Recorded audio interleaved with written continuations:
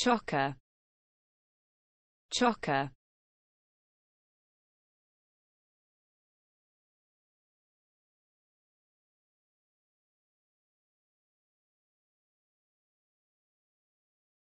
tightly packed, especially with people. Tightly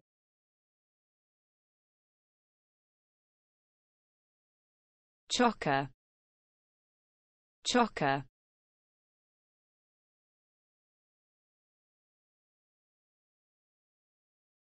tightly packed, especially with people. Tightly